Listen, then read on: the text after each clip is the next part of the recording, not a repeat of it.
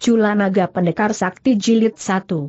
Malam itu adalah malam Peogwe E Tiong Chiu, yaitu pertengahan bulan 8 atau juga musim merontok, dari pemerintahan Kaisar Yong Cheng tahun ke-7, rembulan permai sekali. Daerah di sebelah timur dari Provinsi Chiat Keng seperti bermandikan sinar rembulan. Malam itu juga angin barat mendesir berhembus menerpa pohon-pohon, menimbulkan suara halus, sampai samar-samar terdengar dua kali suara tanda waktu dari atas rangon tembok kota. Terkadang saja terdengar salak anjing. Di waktu malam sudah larut, semua pintu rumah terkunci rapat-rapat.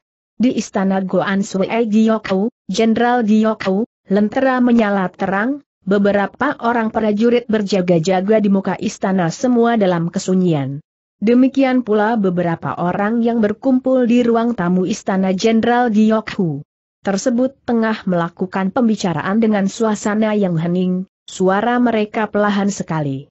Jumlah mereka empat orang, tampaknya ada sesuatu yang sangat penting tengah mereka rundingkan yang duduk di sebelah kanan dekat meja besar tempat diletakkan beberapa cawan minuman, seorang lelaki berusia hampir 40 tahun, mukanya tampan, gagah sekali. Sepasang kumis terjuntai pendek sampai sisi dagu, jenggotnya juga tumbuh pendek dan teratur rapi. Bajunya tungsia bersulam yang indah. Dia tidak lain dari Jenderal Gyokhu.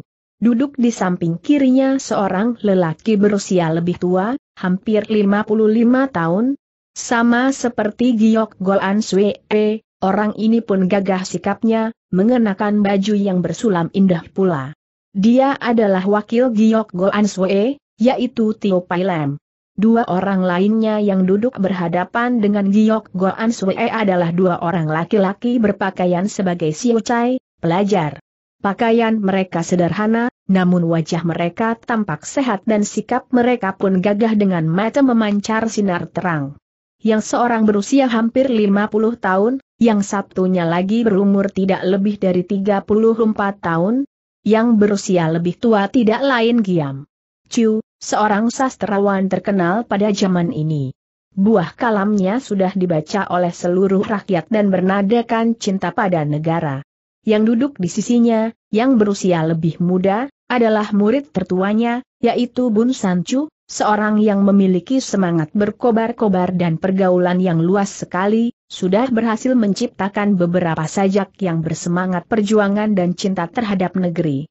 Giam Chu adalah sahabat karib Jenderal Gyokhu. 20 tahun yang lalu, Jenderal Gyokhu banyak belajar dari sahabatnya ini, Karenanya walaupun kini sudah menjadi jenderal yang memiliki kekuasaan sangat besar, jenderal tersebut tetap menghormati Giam Chu.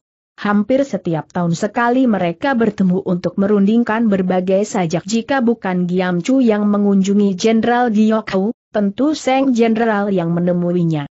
Belum setahun sejak pertemuan mereka yang terakhir, Giam Chu justru telah mengunjungi Jenderal Gyokau, tampaknya pujangga terkenal itu memiliki persoalan yang sangat penting sekali.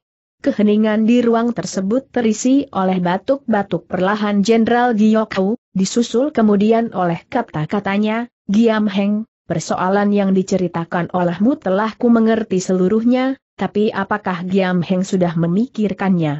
Dengan sedalam-dalamnya akan akibat yang bisa timbul dari keinginan Giam Heng? Ya, kalau saja Goan Swaan E bersedia membantu kami, tentu semuanya berjalan lancar, menyahuti Giam Chu. Kami sudah bertekad, walaupun bagaimana Kaisar Yong Cheng harus dihukum atas kelalimannya, rakyat sudah terlalu menderita.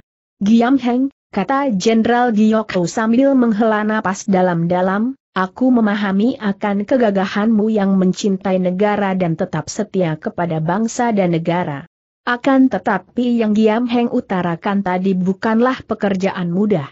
Bukan aku tidak menyetujui saran Giam Heng juga bukan maksudku untuk menentang, tetapi cobalah Giam Heng pertimbangkan dengan seksama lagi, apakah tidak akan menyebabkan berjatuhan korban yang terlalu banyak jika niat Giam Heng dilaksanakan? Menurutku, pasti yang akan lebih menderita lagi adalah rakyat.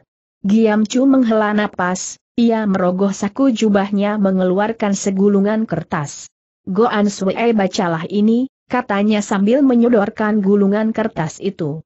Kukira Goan Sue bisa memahami lebih dalam lagi perasaan kami. Jenderal Giokhu menyambuti gulungan kertas itu, memuka dan membacanya. Wajahnya tampak jadi semakin murung. Kemudian perlahan, disodorkannya surat itu kepada Tio Pailem, wakil jenderal tersebut.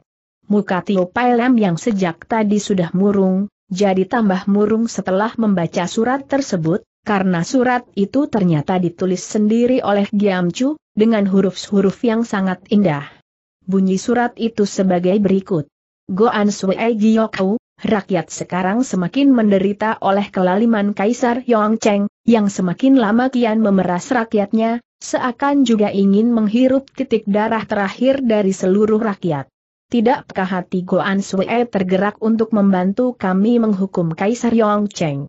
Kami yakin, Goan Sue akan selalu ingat, betapapun darah yang mengalir di sekujur tubuh Goan Sue adalah butir-butir darah Han, yang akhirnya pasti akan dihirup pula oleh Kaisar yang lalim itu kemuliaan yang lebih terpuji untuk Goan Sue walaupun kelak hanya sebagai seorang petani biasa, dibandingkan sekarang Goan Sue duduk di singgah sana kekuasaan yang disediakan oleh kaisar penjajah itu. Giam Chu dan kawan-kawan selalu berdoa kepada Tian agar dilimpahkan kemuliaan. Selesai membaca surat itu Tio Pai Lem menoleh kepada atasannya dengan muka yang memancarkan berbagai macam perasaan, lah seakan mengalami kesukaran untuk mengutarakan sesuatu. Jenderal Giokhu menghela napas dalam-dalam dengan muka tetap murung.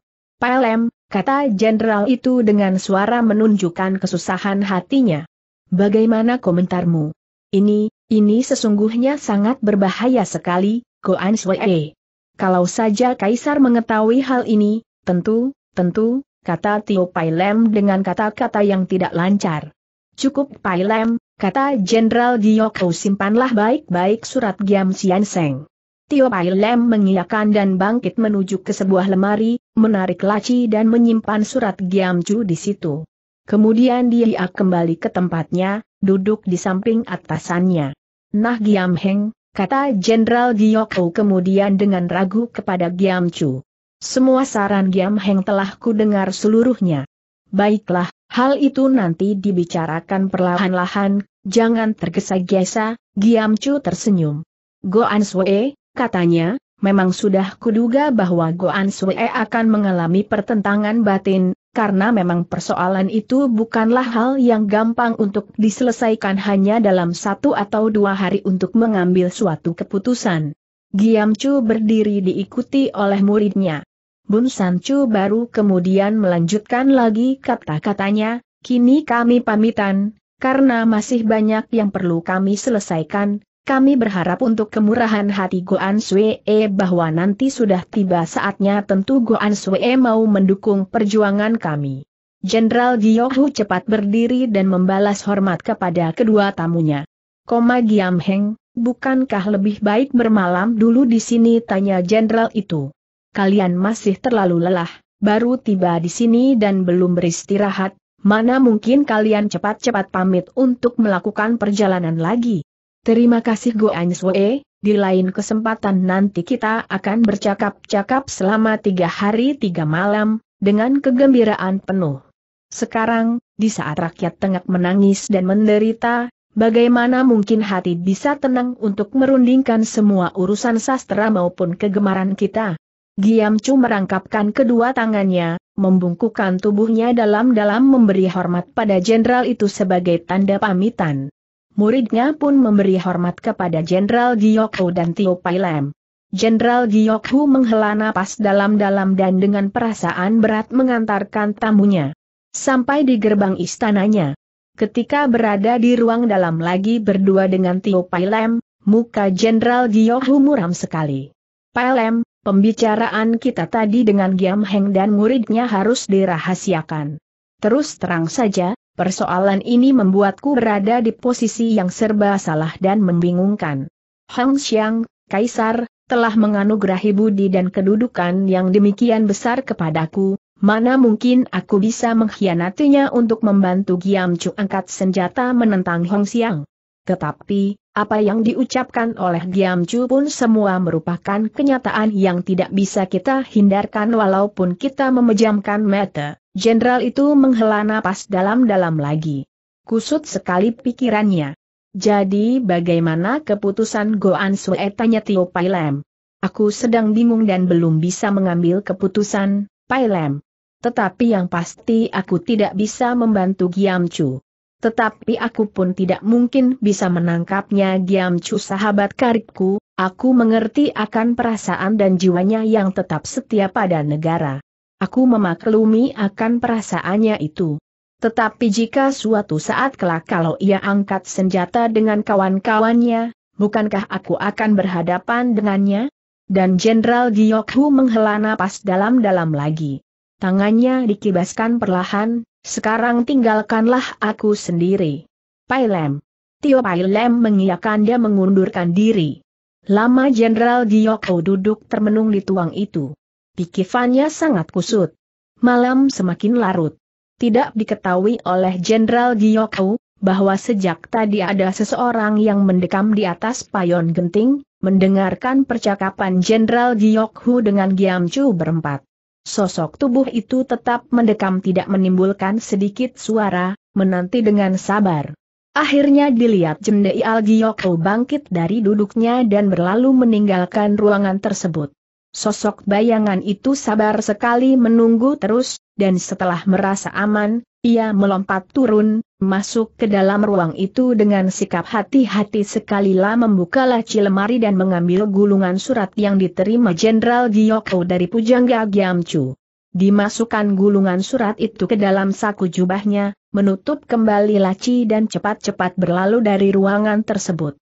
Lah segera menuju ke istal kuda, dengan memakai seekor kuda yang tampak kuat dan gagah, sosok tubuh itu meninggalkan istana Jenderal Gyokhu. Malam semakin larut, angin barat berhembus semakin dingin. Cu Kongkong tertawa menyeringai sambil memperhatikan surat yang dibuka lebar-lebar di depannya. Sudah tiga kali dibacanya surat itu, sampai akhirnya meledak tertawa terkekeh Cu Kongkong. Hebat, kata Cu Kongkong sambil menoleh pada orang yang berlutut di sampingnya. Kau sudah melakukan tugas dengan baik, Liam Kong. Aku akan menghadiahkan pangkat kepadamu, karena kau sudah memperoleh apa yang kuinginkan. Terima kasih atas kemurahan hati Kong Kong, kata orang yang berlutut itu sambil mengangguk-anggukan kepalanya. Liam Kong akan ingat seumur hidup budi kebaikan Kong Kong, walaupun Liam Kong harus mati, tentu mati dengan puas. Cu Kong Kong tertawa terkekeh perlahan menggulung surat di tangannya. Liam Kok, sudah berapa lama kau menyusup masuk ke istana Gyokhu? Tanda tanya-tanya Chu Kong Kong, mukanya bersungguh-sungguh, tidak terlihat senyum atau tertawanya lagi. Sudah lebih dari setengah tahun, Kong Kong, jawab Liam Kong. Apakah selama itu Gyokhu tidak memperlihatkan tanda-tanda akan mengkhianati kesetiaannya pada Hong Siang mulai meluntur tanya Chu Kong Kong lagi. Ampun Kong Kong, apa yang hamba lihat Goan Sui Gyokho tetap setia pada Hong Xiang. Bahkan, terakhir setelah pertemuan dengan Giam Chu, Goan Sui Gyokho masih bilang kepada Tio Pai Lem bahwa ia tidak ingin menangkap Giam Chu karena hubungan mereka sebagai sahabat, tetapi justru kalau Giam Chu mengangkat senjata jelas akan berhadapan dengannya. Itu menunjukkan Jenderal Gyokho tetap setia kepada Hong Xiang. Chu Kong Kong mendengus. Hem, aku tetap meragukan katanya. Surat ini merupakan bukti nyata. Hong Xiang. Aku tidak menyukai Giok Hui karena ia terlampau cerdik, yang ku khawatirkan sewaktu-waktu kekuatan yang dimilikinya semakin besar. Bukankah sekarang pun ia merupakan satu-satunya jenderal yang paling dipercaya oleh Hong Xiang? Karenanya Giok Hu harus disingkirkan. Kau mengerti maksudku, Liam Kong? Mengerti Kong Kong, menyahuti Liam Kong sambil memanggut-manggutkan kepalanya dengan keadaan tetap berlutut. Liam Kong mengerti Kong Kong. Bagus. Selama setengah tahun melaksanakan tugasmu menyelusup ke dalam istana Gyokou dan menyamar sebagai pelayan keluarga Gyokou, semuanya dapat kau laksanakan dengan sebaik-baiknya. Besok akan kusarankan kepada Hong Xiang agar kau diangkat sebagai congtok di Bunan, menggantikan Chong Tok Li Tek Hang, yang akan ditarik pulang ke kota raja, kami akan pensiunkan dia. Liam Kong manggut-manggutkan kepalanya girang luar biasa dan mengucapkan terima kasih tidak hentinya. Sekarang pergilah kau beristirahat perintah Chu Kong Kong sambil mengibaskan sedikit lengan jubahnya. Liam Kong mengiyakan, mengundurkan diri sambil tidak hentinya mengucapkan terima kasih atas kemurahan hati Chu Kong Kong yang akan menganugerahi pangkat Chong Tok padanya.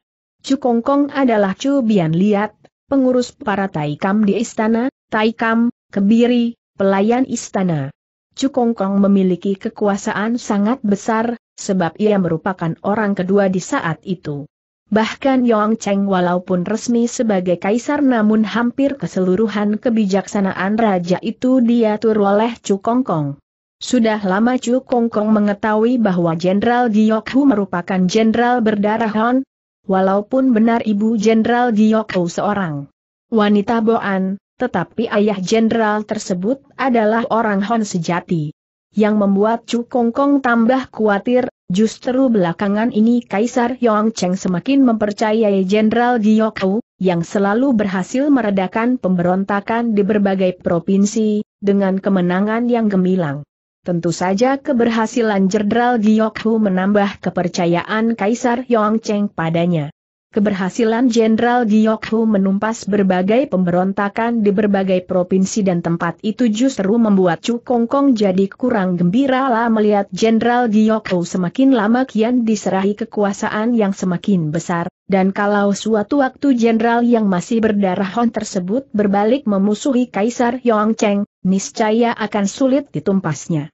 Karena itu Chu Kong Kong berusaha untuk meruntuhkan Jenderal Giokhu, mencari-cari kesalahan jenderal tersebut. Atas perintahnya juga Liam Kong, anak buah yang setia pada Chu Kong Kong, pergi menyamar sebagai rakyat biasa dan masuk bekerja di istana Jenderal Giokho sebagai seorang pelayan. Setengah tahun lebih Liam Kong memperhatikan gerak-gerik Jenderal Giokho, tetapi selama itu yang disaksikannya justru jenderal yang seorang ini sangat setia kepada junjungannya.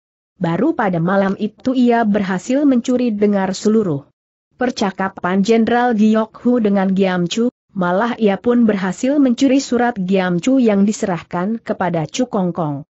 Surat Giam Chu itulah yang akan dipergunakan Chu Kongkong meruntuhkan Jenderal Giokhu dari kedudukannya yang ada. Waktu itu, setelah Liam Kong berlalu, Chu Kongkong langsung pergi ke kamar Kaisar Yong Cheng. Kaisar tengah menulis sebuah sajak, dan ketika dilapori bahwa Chu Kong Kong mengunjunginya, Kaisar itu segera menunda tulisannya tersebut dan menemui pengurus Taikam yang diseganinya juga, oleh Chu Kong Kong menceritakan bahwa Jenderal Giokhu akan memberontak dan sebagai bukti nyata diberikannya surat yang ditulis Giam Chu, kepada Kaisar. Membaca surat itu muka Kaisar Yong Cheng merah padam karena murka. Hong Xiang jangan pusingi urusan ini, serahkan pada Kong Kong untuk mengurusnya kata Chu Kong Kong sambil tersenyum licik. Ya, kata Kaisar Yong Cheng. Aku tidak mau mendengar lagi tentang Giok Hu. Kong Kong, selesaikanlah sebaik-baiknya. Tanda petik. Girang Chu Kong Kong, sebab ia berhasil memengaruhi Kaisar Yong Cheng. Semula ia menduga tentu memperoleh kesulitan untuk meyakinkan Kaisar bahwa Jenderal Giok Hu ingin memberontak. Segera Chu Kong Kong mengundurkan diri dan menulis sebuah firman, mencap dengan cap kerajaan. Memang setiap firman Kaisar selalu ditulis oleh Chu Kong Kong, dan di sinilah letak kekuasaan Chu Kong Kong yang terbesar, karena jika ia tidak menyukai seseorang, sekali saja ia menulis sepucuk firman, niscaya celakalah orang itu. Sebab walaupun firman itu ditulis oleh Cukong Kong, tetapi itu adalah firman kaisar yang lengkap dengan cap kerajaan. Tidak ada seorang pun, baik menteri, jenderal ataupun siapa saja, yang dapat membangkang terhadap bunyinya firman kaisar tersebut. Pagi itu pohon yang liu bergoyang-goyang ditiup oleh angin barat, lemah gemulai. Seorang penunggang kuda yang melarikan binatang tunggangannya dengan cepat sekali, seakan ingin merusak ketenangan suasana di tempat itu. Bahkan waktu kuda berlari memasuki kota, penunggang kuda itu tidak bermaksud memerlahankan larinya binatang tunggangan tersebut. kuda itu berhenti tiba-tiba di depan istana Jenderal Giokhu. Penunggang kuda itu, seorang lelaki bertubuh tegap dan mukanya kotor oleh debu segera menerobos masuk ke dalam istana jenderal tersebut. Pengawal di depan pintu berdiri dengan sikap hormat. Karena mengenali orang tersebut Hang Tiamlu, pahlawan nomor satu di pasukan Jenderal Giokhu. Tio Pai Lem, Wakil Jenderal Giokhu menyambut kedatangan Hang Tiamlu. Heran Tio Pai Lem melihat sikap Hang Tiamlu yang begitu tergesa-gesa dan gugup, seakan ada sesuatu yang tidak beres. Hang Tiamlu membisikkan sesuatu pada Tio Pai Lem, muka Pai Lem seketika berubah pucat dan jadi gugup. Berdua mereka cepat cepat masuk ke dalam, menemui Jenderal Giokhu. Jenderal Giokhu menyambut mereka dengan sikap tenang dan ramah, menyuruh mereka duduk. Tetapi Hang Tiamlu bukannya duduk malah sudah menjatuhkan diri berlutut di depan jenderal, katanya gugup sekali, harap Goan Sue ampuni hamba, tetapi cepatlah Goan Sue berkemas untuk berangkat. Bahaya ada di depan mata. Jenderal Giokhu mengerutkan kening melihat kelakuan anak buahnya ini. Biasanya Hang Tiamlu gagah perkasa menghadapi persoalan yang bagaimana sulit maupun berbahayanya, ia tidak pernah jadi gugup seperti ini. Tenanglah Tiamlu, ceritakanlah apa yang terjadi tanya Jenderal Giokhu. Bahaya ada di depan Matu Goan Sue, menjelaskan Tiamlu. Cukongkong sudah mengirim orang-orangnya untuk menghukum Goan Sue. Mereka membawa firman Kaisar. Memang ini pasti perbuatan keji Chu Kongkong yang ingin mencelakai Goan Sue. Karenanya, cepatlah Goan Sue menyingkir, kami yang akan menghadapi mereka. Kening Jenderal Giokhu mengkerut dalam-dalam. Iring-iringan pasukan Kaisar sedang menuju kemari tanya Jenderal itu. Benar. Goan Sue. Hamba sudah menyelidiki dan ternyata mereka membawa firman Kaisar untuk menghukum Goan Sue sekeluarga, dengan tuduhan bahwa Goan Sue bekerja sama Giam Chu ingin memberontak.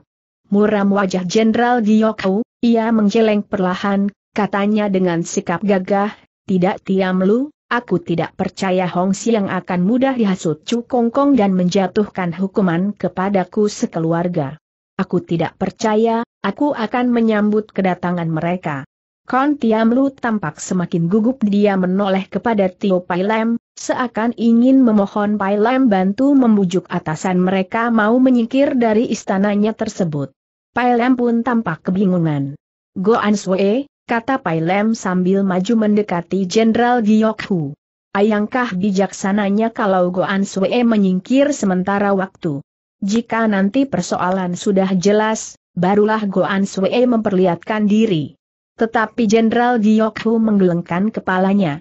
Tidak, katanya. Aku tidak akan meninggalkan posku. Sekarang kalian siapkanlah penyambutan untuk utusan Hang Xiang.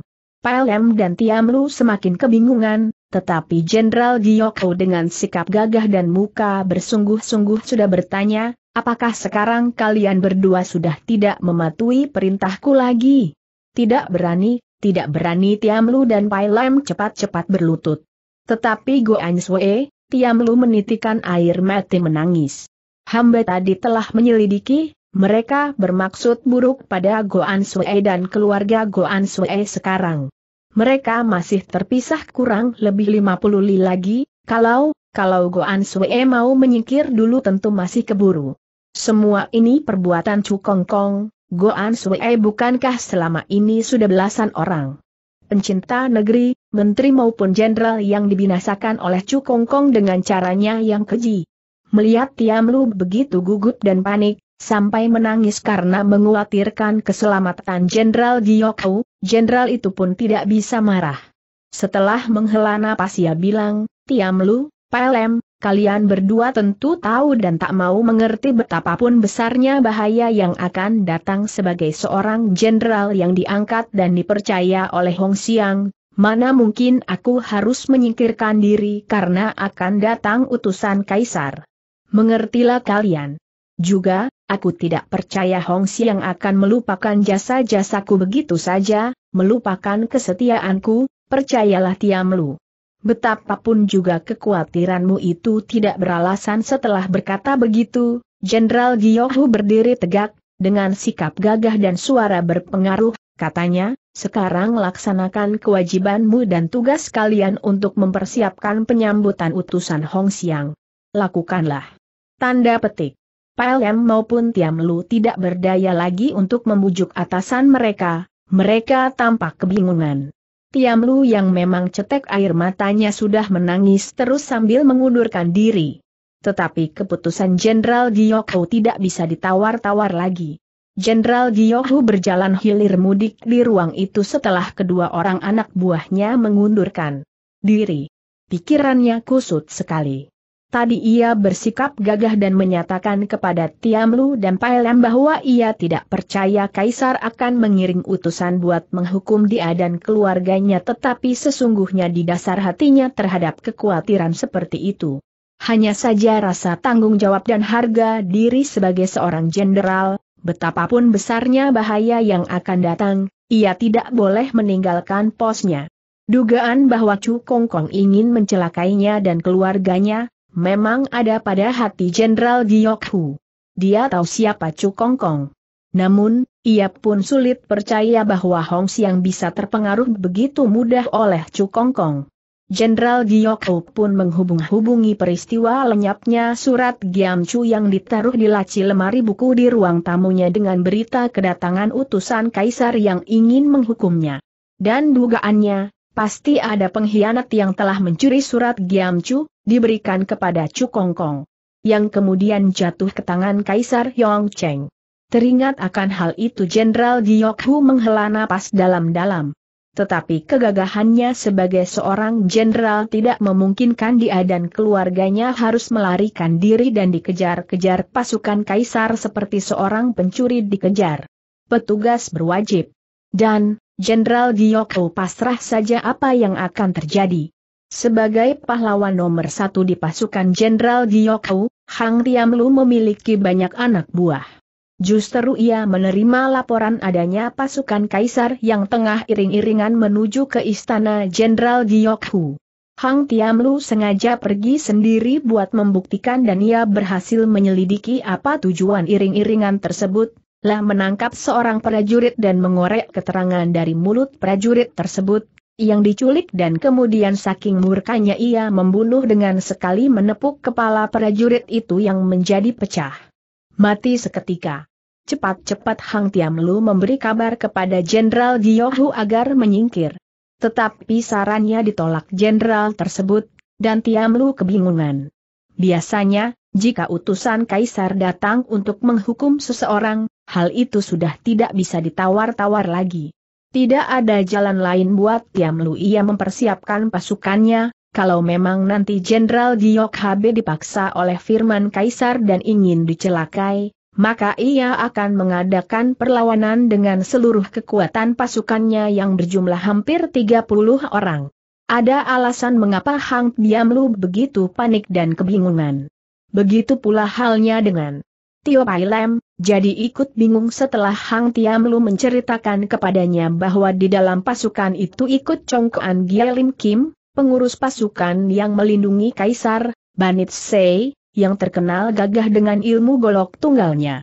Juga bersama rombongan itu ikut serta Tio Ye Uliang, Chongkoan Kim Ie pengurus pasukan yang bersulam jubah emas, seorang jago pedang nomor satu di zaman ini, karena ilmu pedang pek Lui Kiam, pedang kilat, sudah kesohor di seluruh daratan Tionggoan dan sulit dicari tandingannya. Iring-iringan utusan kaisar itu dilengkapi oleh 500 orang pasukan Kim Ie yang semua rata-rata berkepandaian tinggi. Itulah sebabnya mengapa Hang Tiamlu dan Tio Pai Lem jadi kebingungan dan panik. Dengan diperlengkapinya iring-iringan kaisar sekali ini dengan kekuatan yang demikian hebat, jelas sengaja agar Jenderal Giyoko tidak bisa meloloskan diri, bahkan jago istana seperti Tio Ye Uliang dan Banit Se ikut serta dalam iring-iringan kaisar tersebut. Bukankah tidak ada seekor lalat pun yang bisa lolos dari tangan kedua jago nomor satu dari istana kaisar itu? Jenderal Giyoko sendiri yang keluar menyambut kedatangan rombongan utusan kaisar itu, didampingi oleh Hang Tiamlu dan Tio Pai Lam. Dengan sikap sangat hormat jenderal tersebut mem. Persilahkan para tamunya itu untuk masuk ke dalam istananya. Tetapi dari rombongan tersebut keluar seorang taikam berusia hampir 50 tahun, dengan sikap angkuh dan sinis, suaranya pun angker waktu ia berseru, Gioko pengkhianat. Berlututlah untuk menerima firman Hongja. Muka Jenderal Gioko berubah pucat, tetapi ketika melihat Taikam itu membuka segulungan kain merah bersulam naga dari benang emas, tidak berani ayah lagi Jenderal Gyokhu berlutut, buat menerima firman Kaisar. Gyokhu menantikan perintah Hong Ya kata Jenderal Gyokhu dengan suara tergetar. Dengan suara lantang Taikam itu membacakan firman Kaisar, karena terbukti Gyoko tidak pandai berterima kasih atas kebaikan tim yang sudah menganugerahi pangkat sangat tinggi padanya, di mana ia masih berpikir untuk memberontak menentang tim, bekerja sama dengan para pemberontak seperti Giamcu, dengan ini tim nyatakan seluruh pangkat dan kekuasaannya dilepaskan darinya, dan tim anugerahi kemuliaan terakhir untuk Gyoko dan keluarganya dengan kematian. Muka Jenderal Gyoko semakin pucat pias mendengar bunyinya firman Kaisar, karena itulah tanda bahwa ia sekeluarga harus menerima hukuman mati. Tubuhnya menggigil. Tetapi, Hong Ya, suara Jenderal Gyoko tidak terdengar jelas. Tio Pai Lem berdua Hang Tiamlu pun menjadi pucat pias, malah Hang Tiamlu yang air matanya cetek sudah mengucurkan air mata menahan isak tangisnya. Gyokhu, Apakah kau mengakui semua dosa-dosamu itu tanda seru tanya Taikam yang membacakan firman Kaisar dengan suara nyaring. Tetapi, hamba akan menjelaskan seluruh persoalan kepada Hongya, berilah hamba kesempatan untuk bertemu dulu dengan Hongya. Hem, Hongya sudah menganugerahi kemuliaan terakhir untukmu. Dan, kami ditugaskan untuk melaksanakan tugas mewakili Hongya menganugerahkan kemuliaan tersebut setelah berkata begitu, Taikam tersebut menoleh kepada orang yang bertubuh tinggi besar dan memelihara berwok tanpa kumis, yang tengah mengawasi Jenderal Gyokhu dengan tatapan sinis. Dialah Banit Sei, Chongkoan Gielin Kun. Taikam itu bilang lagi, Bantai Jin, mulailah melaksanakan tugas. Tidak boleh sepotong jiwa anjing, maupun ayam yang dibiarkan lolos. Banit Sei tertawa sambil mengangguk tangan kanannya dikibaskan belasan orang berpakaian sulam emas, yaitu Kimet Wei dengan masing-masing golok di tangan sudah melompat mendekati Jenderal Gyokhu. Tio Pai Lem berdua Hang Tian Lu terkejut, muka mereka pucat pias. Tio Pai Lem melompat ke depan Jenderal Gyokhu, menangkis beberapa golok yang menyambar akan membacok jenderal tersebut. Sedangkan Hang Tiam Lu cepat-cepat mencekal lengan Jenderal Gyokhu teriaknya, Goan Sue, mari menyingkir. Tetapi Jenderal Gyokhu mengibaskan tangannya, maka cekalan Hang Tiamlu terlepas. Pergilah kau katanya dengan muka yang pucat seperti mayatlah tampak jadi putus asa campur kecewa. Walaupun sebetulnya Jenderal Gyokhu memiliki ilmu silat yang cukup tinggi, tidak terlihat tanda-tanda ia ingin mengadakan perlawanan lah tetap dalam keadaan berlutut. Tio Pai Lem mati-matian menghalau beberapa golok yang datang mengancam, kemudian berseru, Hang Heng, cepat ajak Goan Suaya menyingkir. Hang Tiamlu dengan air mata bercucuran berkata lagi untuk membujuk Jenderal Gyokau, Goan Sue, apakah kau sudah tidak mencintai keluargamu lagi tanda seru. Jenderal itu tetap berdiam diri saja dengan muka yang pucat seperti kapur tembok. Tubuhnya menggigil. Tetapi Hang Tiam Lu tidak bisa meneruskan kata-katanya, dia merasakan tengkuknya dingin dan cepat berkelit ke samping, karena ia tahu itulah serangan bokongan. Namun, Hang Tiam Lu kaget, ia sudah berkelit, hawa dingin itu masih tetap menyambar di tengkuknya. Dia mengayunkan tangan ke atas menangkisnya. Lengan Kang Tiam Lu terasa nyeri, tubuhnya bergoyang-goyang, kemudian mundur dua langkah ke belakang. Orang yang menyerangnya adalah Banit Sei, Chongkoan Gielim Kun, yang tertawa mengejek terkekeh dan tengah menyambar dengan tangan kirinya lagi. Hang Tiamlu menggerakkan pedangnya buat menebas lengan Chongkoan Gin Lim Kun tersebut, tetapi gesit bukan main Banit Sei bisa melindungi tangannya, di mana ia menekuk tangan kirinya, mendadak tangan kanannya menghantam ke depan, telak sekali memukul dada Hang Tiamlu.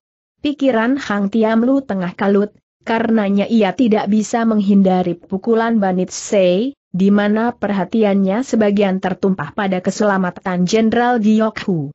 Akibat pukulan Banit Sei, tubuhnya terpelanting, namun cepat sekali ia bisa bangkit dan menghirup dalam-dalam hawa udara untuk mengumpulkan semangatnya.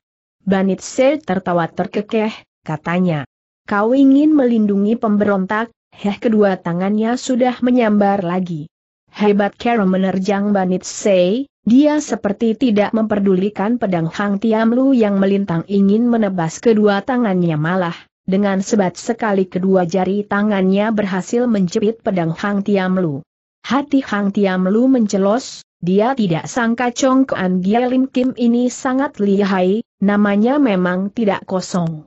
Cepat-cepat dia melepaskan cekalan pada pedangnya, telapak tangan kirinya menghantam pundak Banit Se. Banit Se menyengir mengejek, kemudian mematahkan pedang Hang Tiamlu. Baru saja ia ingin menerjang Hang Tiamlu, Mendadak Jenderal Giokhu berseru, hentikan. Semua berhenti. Semua orang jadi berdiam diri, belasan orang Kim Iewie yang waktu itu tengah bertempur dengan pasukan Hang Tiamlu pun berhenti dan menoleh kepada Jenderal Giokhu. Jenderal Giokhu tetap berlutut, mukanya pucat pias, bibirnya agak gemetar. Dia berkata dengan suara nyaring, lihatlah, katanya dengan melepaskan pedang yang tergantung di pinggangnya. Ini adalah Kim Kiam, pedang emas, hadiah Hongya, merupakan pedang kekuasaan yang dianugerahi oleh Hongya. Sekarang Hongya menganggap aku berdosa, menjatuhkan hukuman mati kepadaku sekeluarga.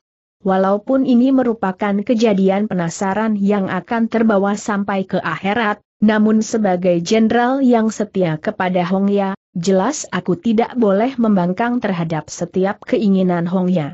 Baiklah, aku menerima hukuman yang dijatuhi Hongya. Selesai berkata begitu, tahu-tahu Jenderal Giokhu mencabut Kim Kiam, menghunusnya dengan cepat. Sama cepatnya dengan itu menggorok leher jenderal tersebut, sehingga lehernya putus dan kepalanya menggelinding ke lantai. Tubuhnya mengikuti kemudian, rebah di lantai, darah berceceran. Tio Pai Lem berdua Hang Tiam Lu menjerit kaget dan sedih, mereka coba mencegah perbuatan jenderal yang sudah berputus asa itu. Tetapi mereka tidak keburu, karena dirintangi oleh Banit Se dan anak buahnya. Malah waktu itu sudah melompat maju seseorang, yang tubuhnya kurus jangkung, mengenakan tungsia, baju panjang, warna kuning. Melihat keadaannya dia seperti seorang penyakitan, tetapi dia tidak lain dari Tio Ye Uliang, Chong Kuan Kim Lewie yang sangat terkenal ilmu pedangnya. Dengan sikap seenaknya kedua tangannya bergerak, dan ke mana saja tangannya bergerak, terdengar jerit kematian, karena seorang tentara Jenderal Giokau yang terhajar kepalanya terbinasa. Bengis sekali Chong Kuan Kim Lewie ini. Bagaikan kalap Tio Pai Lem berdua Hang Tiam Lu berusaha menerjang Banit Se dan Tio Ye Uliang. Tetapi kepandaian jago nomor satu dari istana itu benar-benar kosong, mereka gagah sekali. Tio Pai Lem berdua Hang Tiam Lu seakan tidak dipandang sebelah mata oleh mereka. Ketika suatu kali Tio Ye Uliang menghantam dengan jari telunjuknya, menotok pundak Hang Tiam Lu, tubuh Tiam Lu tidak ampun lagi kejengkang keras ke belakang, bahkan belum lagi bangkit berdiri dia sudah memuntahkan darah segar. Pasukan Kim Iewie yang lainnya sudah menerjang masuk ke dalam istana Jenderal Giokhu, semua pelayan maupun tentara Jenderal Giokhu dibinasakan. Seperti perintah Taikam yang tadi membacakan firman Kaisar, bahwa sepotong jiwa anjing maupun ayam tidak boleh ada yang lolos. Hampir seratus orang lebih pelayan keluarga Jenderal Giokhu dibinasakan sanak famili maupun istri dan dua orang anak perempuan dari Jenderal Giokho dibinasakan semuanya. Hang Tiamlu setelah memuntahkan darah segar, sebetulnya ingin melompat berdiri dan mati-matian ingin mengadu jiwa. Tetapi tiba-tiba dia teringat sesuatu. Dan seketika ia memiliki semangat lagi, karena ia harus menyelamatkan seseorang. Dia batal berdiri, hanya berdiam sejenak. Setelah melihat Tio Uli yang tidak memperhatikannya dan tengah mengibas-ngibaskan lengan jubahnya untuk membersihkan debu di bajunya, Hang Tiamlu merangkak hati-hati menyingkir ke dekat pintu, kemudian menyelinap ke balik istal dan berlari sekuat tenaga menuju ke arah pantai. Hem, tidak ada yang berarti di sini menggumam Tio Yeuli yang kepada Banit Se waktu itu tengah melayani Tio Pai Lem dengan kedua tangannya. Banit Se tertawa bergelak-gelak sambil menyampok tangan kanan Tio Pai Lem yang menyambar kepadanya ia menyahuti, ya, memang sungguh mengecewakan. Kukira Jenderal Bau itu mempunyai banyak kaki tangan yang tangguh. Aneh, hanya gentong-gentong nasi tidak punya guna yang muncul di depan kita. Eh, kita apakan gentong nasi yang satu ini, Tio Heng tanda seru. Tio Ye Uli yang tertawa. Aku akan memperlihatkan suatu pertunjukan yang istimewa jawab Tio Ye Uliang. Perlahan-lahan dia menghunus pedangnya, dilemparkannya pedang itu ke tengah udara. Waktu pedang itu menukik meluncur turun, Tio Ye Uliang sambil tertawa menyentil dengan jari telunjuknya pada pedang tersebut, yang seketika terpental keras dan menyambar ke dada Tio Pai Lem.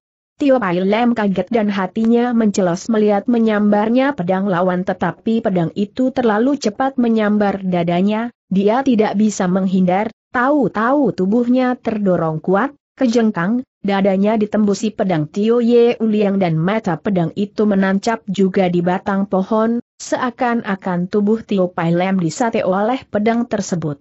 Banit Se tertawa keras. Tio Heng, kau merampas jasaku teriaknya. Semua ini jasa kita berdua kata Tio Liang. Tidak acuh dan menghampiri Tio Pai Lam yang tertancap di batang pohon, menarik pedangnya dan membersihkan di baju mayat Tio Pai Lam. Taikam yang membacakan firman Kaisar telah menghampiri Banit Se. Bantai Jin, coba periksa, apakah dua orang anak perempuan dan seorang anak lelaki Giokho sudah diberesi semuanya? Juga istri dan 29 sanak famili yang tinggal bersamanya, apakah sudah? Semuanya direplikan. Hitung dan perhatikan dengan baik, jangan sampai salah. 113 pelayan, seorang istri, tiga anak, dan ditambah 29 sanak famili. Seluruhnya berjumlah 146 jika ditambah oleh Gyoko jadi 147 jiwa. Banit Se mengangguk dan mulai menghitung, sedangkan Tio Ye Uliang menghampiri Tai Kam itu. Bagaimana dengan pasukan perang di markas angkatan perang, yang semula berada di bawah kekuasaan Gyoko tanda seru tanya Tio Ye Uliang apakah Kong Kong sudah membereskan semuanya? Tio Taijin, kau jangan khawatir. Kong Kong selalu mengatur dengan sempurna segalanya telah diangkat Jenderal Wang Xie sebagai pengganti Giok Hu. Keadaan di sana pun sudah teratasi dengan baik. Ada 2000 lebih tentara yang memihak pada Giok Hu, mereka semua sudah dibereskan jawab Tai Kam itu. Tio Ye Uliang mengedip-ngedipkan matanya.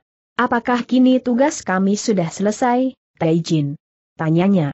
Tai Kam itu mengangguk. Ya, kita akan langsung kembali ke, ke kota raja, jawabnya. Banit Se sudah selesai menghitung dan menghampiri itu.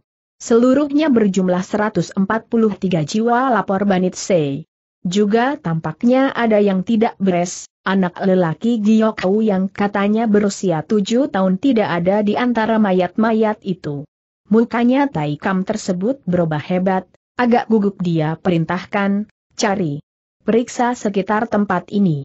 Pasti ada beberapa pelayan yang berusaha menyelamatkan anak pemberontak ini. Segera juga pasukan Kim Ie di bawah pimpinan Tio Ye Uliang dan Banit Se mencari anak lelaki Jenderal Giokhu dan memeriksa sekitar tempat itu. Tetapi yang mereka cari tidak juga berhasil ditemukan.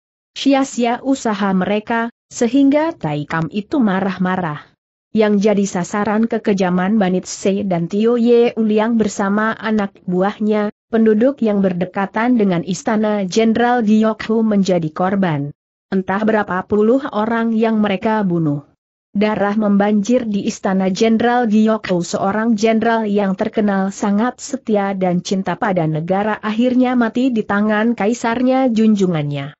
Rakyat cuma bisa mengusap dada waktu mendengar peristiwa yang menyedihkan tersebut, salah satu korban dari kelaliman Kaisar Yongcheng.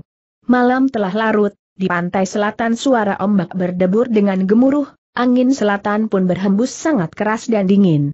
Walaupun rembulan bersinar penuh di langit, tetapi sinarnya tidak cukup menerangi sekitar daerah pantai itu, batu-batu karang yang tidak rata bentuknya menimbulkan bayang-bayang seperti bayangan hantu malam yang menyeramkan.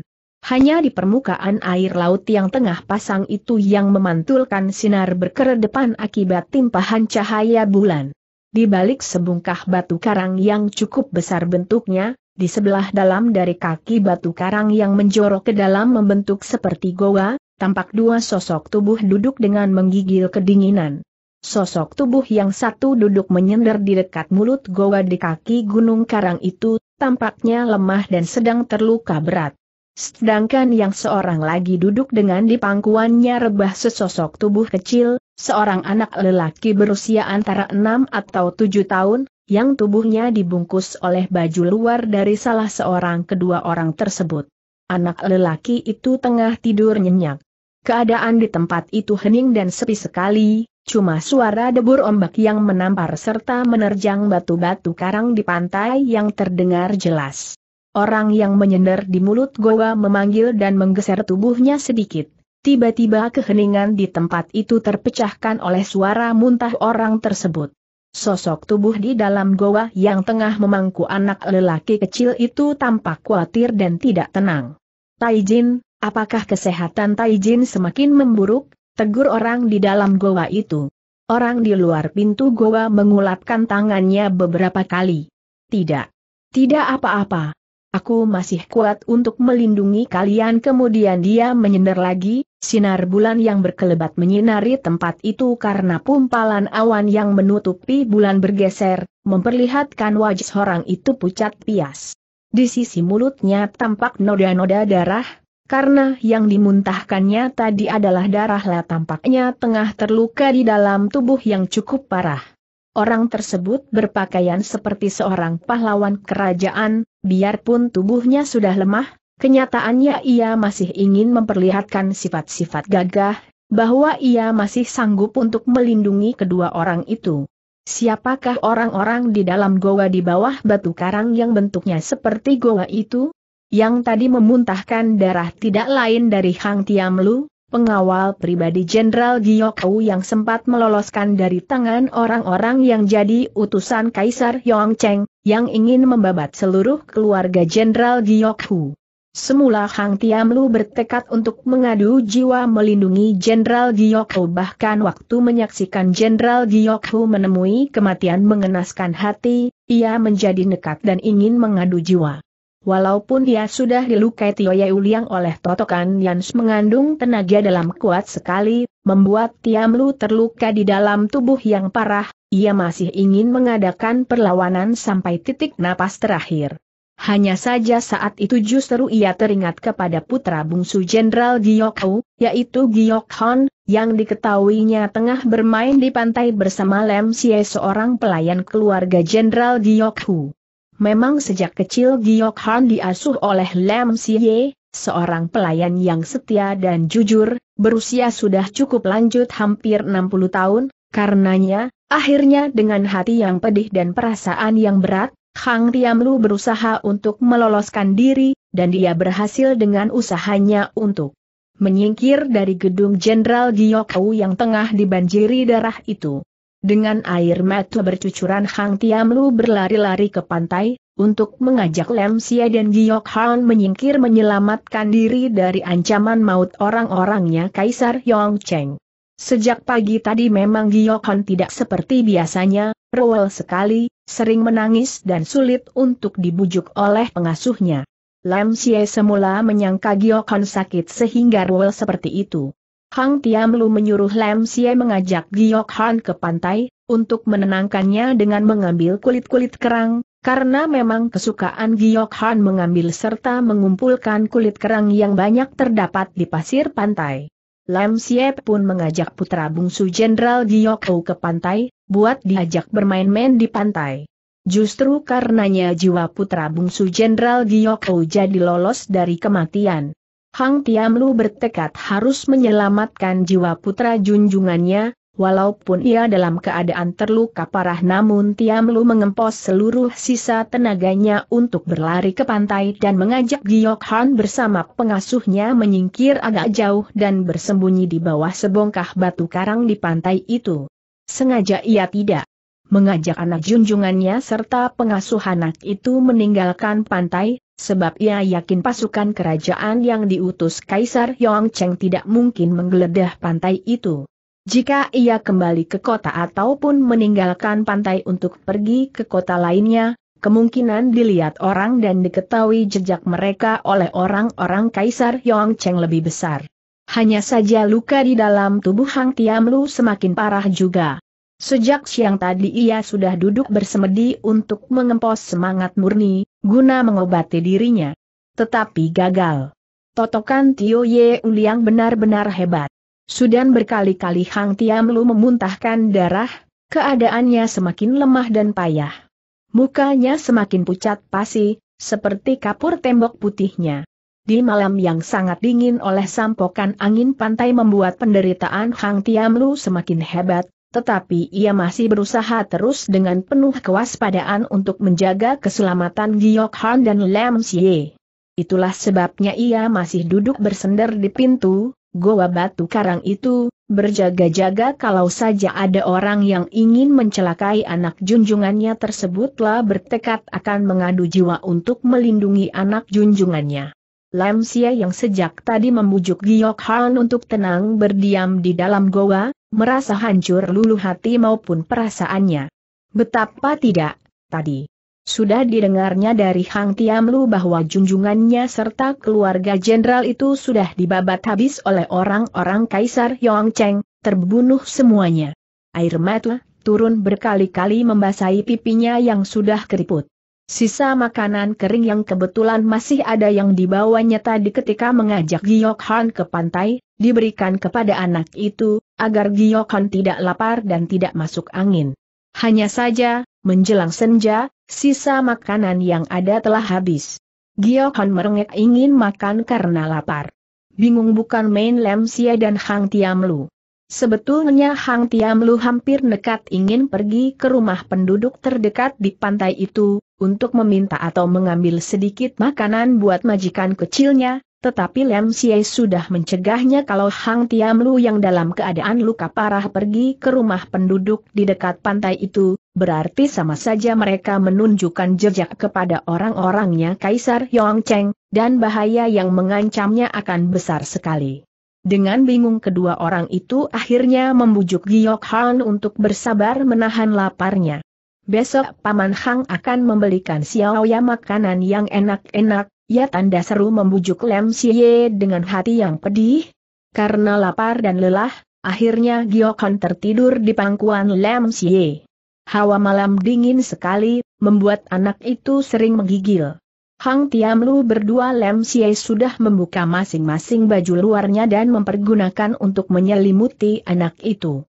Hanya saja baju luar itu tidak cukup untuk mencegah dinginnya udara malam, Giok Han yang tidur dengan perut lapar masih sering menggigil kedinginan.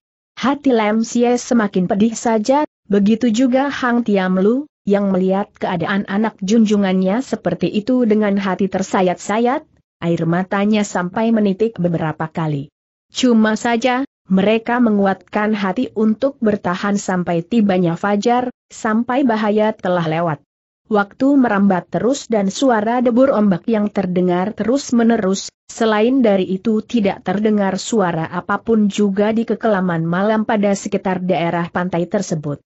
Hang Tiamlu sangat lelah dan menderita oleh luka di dalam tubuh yang kian parah itu, tetapi ia masih memaksakan diri mementang kedua matanya lebar-lebar untuk bersiap siaga menghadapi segala kemungkinan, tangannya mencekal pedangnya erat-erat.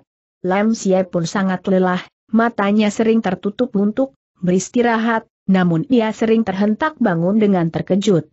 Dan waktu malam semakin larut, sekali lagi Lam Xie tersentak. Kaget karena Giok Han mengigau memanggil-manggil, Papa, Papa, Mama, Mama. Air mata Lam Xie dan Hang Tiam Lu jadi bercucuran, hati mereka hancur sedih sekali. Tetapi tidak ada yang bisa mereka lakukan. Lam Xie cuma memeluk Giok Han yang didekap erat-erat. Anak itu tetap tidur dengan hati-hati Lem Xie meletakkan di pangkuannya lagi. Akhirnya Fajar menyingsing. Giok Han sudah terbangun dari tidurnya. Paman Hang, Paman Lem, Han Jie lapar kata anak itu. Lem Xie dan Hang Tiam Lu mengangguk sambil memaksakan diri tersenyum, walaupun hati mereka pedih sekali. Sebentar lagi kita beli makanan yang banyak dan enak-enak untuk Xiaoya, ya tanda seru bujuk Lem Xie. Kukira sekarang sudah boleh menyingkir, Lem Lopeh kata Hang Tiamlu. Pasukan Kaisar tentu sudah menarik diri meninggalkan tempat ini. Lem Xie mengangguk. Kita harus mengambil arah yang berlawanan dengan mereka. Tetapi Hang Taijin, apa rencana kita untuk Xiao Ya? Hang Tiamlu menghela napas dalam-dalam lah berpikir sejenak, kemudian menyahuti, kita pergi ke kota Xiaowan, menemui guruku, kita nanti minta nasihatnya. Lam Xie mengangguk menyetujui, karena dia sendiri bingung ke mana ingin membawa majikan kecilnya itu, untuk diselamatkan. Memang ia pun setuju dengan rencana Hang Tiamlu, tentu guru dari pengawal Jenderal Giok Hu ini bisa memberikan jalan yang terbaik, setidak-tidaknya bantu melindungi Giok Han. Bukankah kepandaian guru Hang Tiamlu pasti lebih tinggi dari Tiamlu sendiri? Di samping itu luka di dalam tubuh Hang Tiamlu bisa diobati oleh gurunya. Hanya saja, dari daerah pantai itu untuk pergi mencapai kota Siawan harus menempuh perjalanan tidak kurang dari 20 hari perjalanan, yang dikhawatirkan Lam Sie apakah Hang Tiamlu sanggup melakukan perjalanan sejauh itu dalam keadaan terluka cukup parah seperti ini. Ayo Lam Lopeh, bersiap-siaplah. Kita harus berangkat sekarang untuk mengejar waktu. Tetapi ingat Lem Lopeh, kalau nanti dalam perjalanan ada rintangan, aku akan berusaha mengatasi rintangan itu dan kau harus terus membawa Xiaoya menemui guruku. Karilah Gan Hang di Xiaowan. Mengertikah kau, Lem Lopeh tanda seru. Lem Xie mengangguk, lalu menggendong Giok Han. Tetapi Giok Han menolak untuk digendong oleh pengasuhnya yang sudah cukup tua itu. Paman Lem, biar aku jalan sendiri, kata anak itu.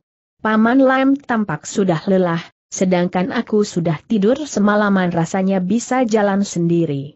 Lem Xie terharu mendengar perkataan majikan kecilnya, dengan air mata bercucuran di peluknya Gok Han. Nanti kita beli makanan yang enak-enak, Xiao ya, bisiknya. Matahari fajar memerah di ufuk timur, air laut sudah surut dan keadaan di pantai itu sangat sepi. Ketiga orang tersebut meninggalkan tempat itu. Hang Tiamlu dengan Lam Xie selalu waspada dan berhati-hati, setiap bertemu dengan seseorang, mereka tentu akan bersikap hati-hati dan waspada. Setelah melakukan perjalanan cukup jauh, mereka sampai di sebuah kampung yang tidak begitu besar sebuah perkampungan nelayan. Lam Xie membeli beberapa makanan untuk majikan kecilnya. Dengan perut kenyang, Giok Han tidak rewel lagi. Hanya saja, ketika mereka ingin melanjutkan perjalanan, Giok Han dengan heran bertanya kepada Lam Xie, Paman Lam, kita mau ke mana? Pergi jauh-jauh nanti dimarahi Papa. Papa yang suruh kami membawa Xiaoya ke suatu tempat. Papa sedang menunggu Xiaoya di sana. Berbohong Lem Xie. Apakah Mama dan Cie Cie berada di sana juga tanya Giok Han. Ya, menyahuti Lem Xie. Xiao Ya tidak perlu khawatir, Papa tidak akan memarahi Xiao Ya, karena ini perintahnya. Mereka melanjutkan perjalanan lagi. Hari itu Giyokon tampak segar dan ia melakukan perjalanan dengan sering berlari-lari dengan tertawanya yang nyaringlah memetik bunga, melempari sungai yang mereka lalui dengan butir-butir batu, tampaknya riang. Sedikit pun anak itu tidak tahu bahwa seluruh keluarganya sudah menjadi korban keganasan Kaisar Yongcheng. Kon Tiamlu sebetulnya sudah semakin payah, luka di dalam tubuhnya kian parah. Tetapi ia berusaha untuk tetap bisa melakukan perjalanan, sekali-sekali ia memuntahkan darah segar. Melihat keadaan Hang Tiamlu seperti itu, Lam Xie semakin khawatir saja. Bagaimana kalau Hang Tiamlu sudah tidak kuat bertahan lebih jauh, sehingga lukanya kian parah lalu mati apa yang harus dilakukannya?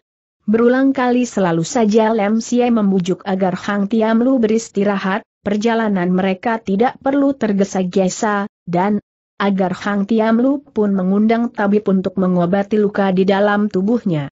Tetapi Hang Tiamlu selalu menggeleng lesulah hanya sekali-kali menelan beberapa pil merah, pil siehuntan buatan gurunya, agar ia bisa bertahan lebih lama lagi dengan luka di dalam tubuhnya. Cuma saja, Terakhir ia menelan tiga butir pil itu, dilihatnya sisa di dalam botol hanya ada dua belas butir lagi. Berarti paling tidak hanya bisa dipergunakan untuk empat hari. Jika obat itu habis, celakalah dia. Mengundang tabib biasa hanya akan sia-sia, karena luka yang dideritanya adalah akibat totokan lihai dari Tio Ye Uliang, tidak mungkin bisa disembuhkan oleh tabib biasa malah bisa mengundang bahaya, kalau tabib itu bercuriga dan melaporkan kepada pihak yang berwajib. Akan menimbulkan kerewelan. Tetapi Hang Tiam Lu tidak pernah mengutarakan kekhawatirannya itu, dia hanya gelisah seorang diri. Jika malam sudah tiba, mereka bermalam di rumah penduduk, yang mereka berikan beberapa tel perak buat tuan rumah. Sudah tiga hari tiga malam mereka melakukan perjalanan. Dan pada malam keempatnya, waktu mereka bermalam di rumah seorang penduduk di sebuah desa kecil Hang Tiamlu merasakan napasnya sesak satu-satu, tubuhnya separuh sudah kaku sulit digerakkan, ia tahu daya tahan tubuhnya tidak akan lama lagi maka, waktu dilihatnya Giokon sudah tidur, perlahan-lahan Hang Tiamlu menggeser tubuhnya ke dekat Lem Siye, mukanya pucat sekali. Air matanya mengucur deras. Sungguh penasaran. Sungguh penasaran mengeluh Hang Tiamlu dengan suara gemetar. Lam Xie melihat keadaan Hang Tiamlu seperti itu jadi ikut mengucurkan air mata. Beristirahatlah Hang Taijin, agar besok tenaga Hang Taijin pulih, hiburnya. Hang Tiamlu menggelengkan kepala. Air matanya tetap mengucur deras. Sungguh penasaran Lem Lopeh, tampak aku tidak kuat untuk bertahan lebih lama guna melindungi Xiaoya dan kau, Lepeh, lukaku tampaknya sulit dibendung untuk bertahan beberapa hari lagi saja. Mungkin aku hanya bisa bertahan untuk satu hari lagi saja. Sungguh penasaran. Oh, oh Tian tampaknya tidak menaruh belas kasihan kepada kita, Lem Lopeh Hang Tiamlu, kemudian menangis terisak-isak. Lem Xie khawatir bukan main, Dipegangnya lengan Hang Tiamlu, dirasakan tubuh orang si Hang tersebut gemetar. Juga dilihatnya muka Hang Tiamlu yang pucat pias itu berselubung warna gelap, matanya sudah tidak bersinar, di bawah pelupuk matanya tampak warna hitam gelap. Menunjukkan bahwa orang si Hang ini memang sudah tipis harapannya untuk mempertahankan hidupnya lebih jauh, karena terlalu sedih campur khawatir, Lam Xie tidak bisa bilang apa-apa, dia menangis terisak-isak. Hang Tiamlu dengan air mata bercucuran memandangi Giok Han yang tengah tidur, duduk bengong berdiam diri saja. Sampai akhirnya dia menoleh kepada Lem Xie, katanya, jika terjadi sesuatu pada diriku kau harus membawa Xiao Ya mencari guruku di Xiaoan, Lopeh, kata Tiamlu lagi. Lem Xie mengangguk beberapa kali dengan sesengukan. Hang Tiamlu mengeluarkan botol obatnya, tinggal sebutir. Diawasinya botol obat itu. Memang akhir-akhir ini setiap kali memuntahkan darah, ia cuma memakan sebutir pil obatnya tersebut. Seharusnya ia memakan enam atau paling sedikit tiga butir, namun untuk memperpanjang penggunaan obat pil siehuntan tersebut, ia sengaja memakannya hanya sebutir demi sebutir. Setelah mengawasi sekian lama pada botol obatnya itu, Hang Tiamlu menghela napas. Dalam-dalam. Dia ingin memasukkan pula botol obat itu ke saku bajunya, tetapi gerakan itu tiba-tiba tersentak, ia memuntahkan darah segar. Lam Xie. Kaget, cepat-cepat memijiti leher dan menumbuki perlahan-lahan punggung Tiam Lu.